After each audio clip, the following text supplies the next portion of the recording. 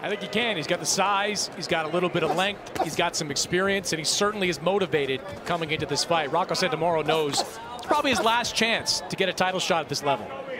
And they're going to play for blood. That's just my game. what have I walked into here? I, you, you don't even want to know, Barry. We'll see you at high noon on that dirt road out back, Barry. Good shot. See, Rocco's not going to be, be, able to com compete with the speed and, and, the technique of Galal. He can be uh, throw the right shots, and, and the right hand to the gut is the right shot against a southpaw. And he does have the pop and the power to get the respect of a young Galal. Keep it up. Keep it up. Santomauro, 36 years old, five years older than Yafai. Santomauro's, a, you know, not not a, a, knockout puncher, but he's a strong puncher. You can see by his shoulders and his uh, upper body frame. He's a strong, strong fighter. You know, one thing Santomauro said to us this week was, even though he believes he won that fight against Santomauro, he understands that he left, you know, some of these rounds on the table a little bit. Didn't do just, didn't do enough, didn't do as much as he wanted to do to win them definitively. So he's not going to make that same mistake in this fight tonight. The chief second for Rocco Santomauro. A bit of a trip there. Nice right hand by Yafai. And Rocco is in trouble coming in. He sticks his tongue out.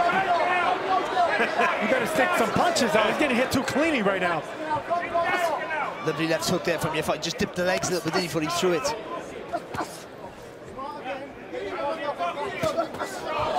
Santomauro's pro debut came 12 years before Galal Yafai's.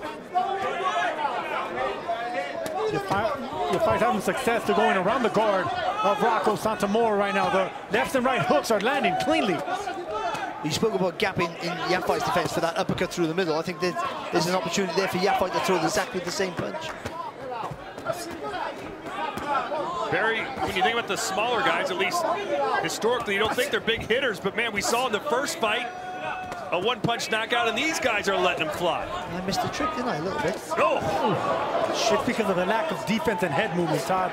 You know, that that's the reason these, these uh, non-punchers are looking like devastating punchers because they're not rolling with the shots. And technique is a big thing. You know, the open fight was, as Sergio said, was perfect technique. Pushed off that back leg, didn't load up, all body mechanics. And look, look at the strain in the neck of Rocco. He's so tense compared to Yafai, who's mm -hmm. just as cool as you like. Yeah, that's a good.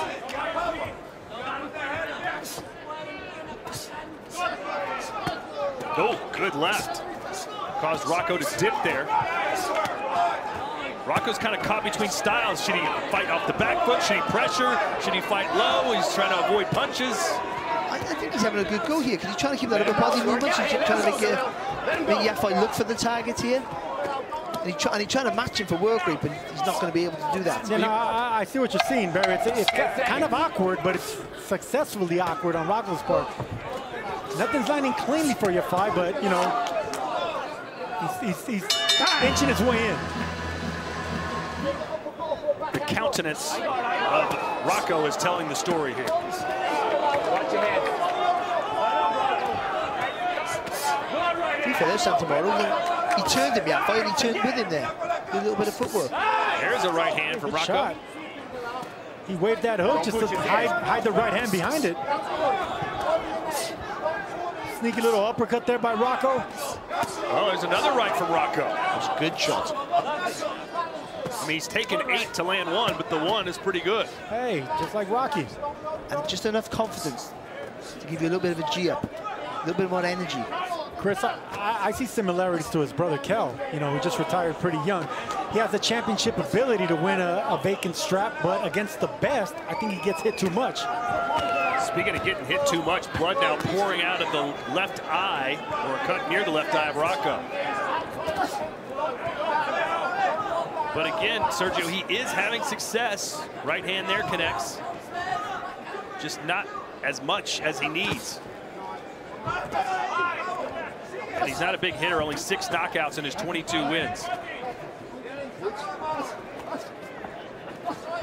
Start his career with a 13-0 record, did Rocco before suffering defeat to Diego de la Hoya, the cousin of Oscar de la Hoya. That was back in May in 2016. Got knocked out in the seventh round. Yeah, and then another, you know, tough physical fight that you know was a lot closer than than it should have been. With Ricardo Sandoval, another excellent physical fight, and here is Rocco in another physical fight. But this is a one-sided physical fight. Well, Sandoval's a good fighter. And he can, Yes, pu- he can punch a bit as well, can he? Been a good round, though, I think, for, for Yafai. He's better move his head a little bit more in this round. A little more lateral movement from him. Stay off his feet. You got to punch off that roll. He rolls quite well sometimes. He dips his legs, stays nice and low, and he rolls. But you got to come, you got to come back with that with a punch. Let him go, Galal. Like I was saying, Barry, they, they want knockouts here in America. Really harsh place, isn't it? Yeah. Yafai putting on a bit of a boxing clinic, but the crowd's still getting restless.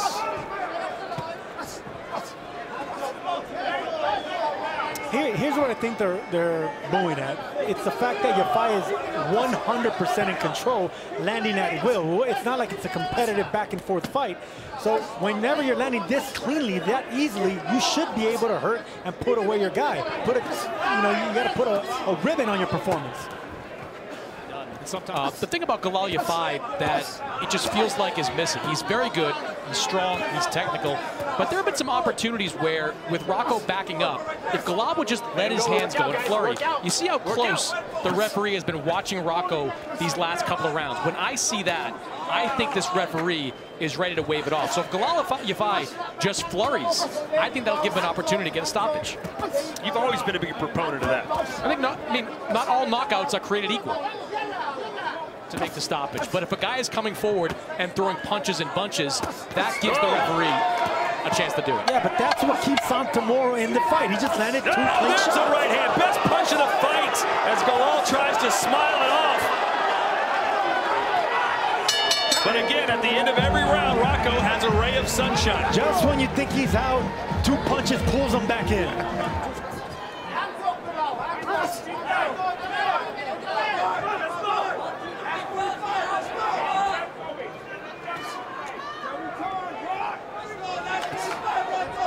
Forty seconds left in this one. Every round has looked very similar, but this one a little more ferocious.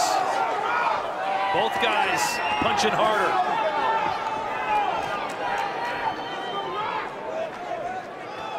What he doesn't do, is fa- if he feints here now, Santomauro just lets the punches go. And he falls over the front foot. And then Yafai has a free shot. You wonder how many rounds the judges will give to Rocco, if any. Ten seconds, guys. Stop with the bell.